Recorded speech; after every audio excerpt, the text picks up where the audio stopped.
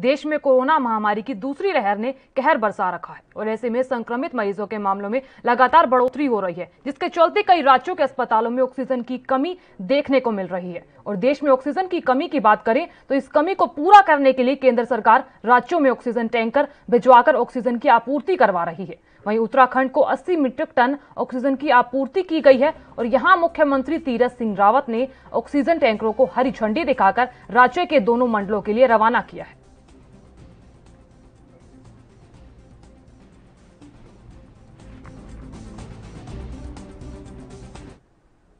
भारत इस वक्त corona virus की दूसरी लहर का सामना कर रहा है और इसी के साथ वैक्सीनेशन का काम भी चल रहा है। तो यहाँ एक्सपर्ट्स ने अंदेशा जताया कि अगर कोरोना की तीसरी लहर आती है तो उसमें बच्चों पर भी काफ़ी प्रभाव पड़ सकता है। तो यहाँ इस कड़ी में एक बड़ा कदम उठाया गया है। कोरोना वैक्सीन से जुड़े सब्जेक्ट एक्सपर्ट कमेटी, यानी कि एस ने मंगलवार को भारत बायोटेक की वैक्सीन का दो साल से 18 साल के बच्चों के ऊपर ट्रायल करने की सिफारिश की, जिसके लिए मंजूरी अब मिल चुकी है। तो यहाँ आपको बता दें कि एसईसी ने सिफारिश की थी कि भारत बायोटेक की कोवैक्सीन के फ़ेज़ टू फ़ेज़ थ्री के क्लिनिकल ट्रायल को मंजूरी दे देनी चाहिए, क्योंकि दो से अठारह साल तक के बच्चों का यहाँ पर ट्रायल किया जाएगा। आपको ये बता दें कि भारत में अभी दो वैक्सीन का इस्तेमाल किया जा रहा है और सिर्फ़ 18 साल से अधिक उम्र वाले लोगों को ही टीका लगाया जा रहा है। तो यहाँ भारत में सिरम इंस्टीट्यूट की कोविशील्ड भारत बायोटेक को कोवैक्सीन को लगाया जा रहा है।